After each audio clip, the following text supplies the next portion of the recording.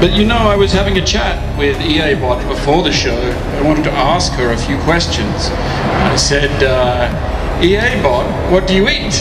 And she replied, electricity. Ladies and gentlemen, Express Avenue presents EA Bot. Open Sesame!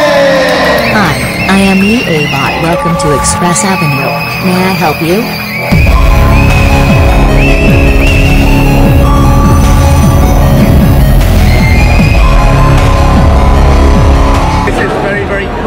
Uh, we live in an age where people are looking for the new and the novel and the adventure.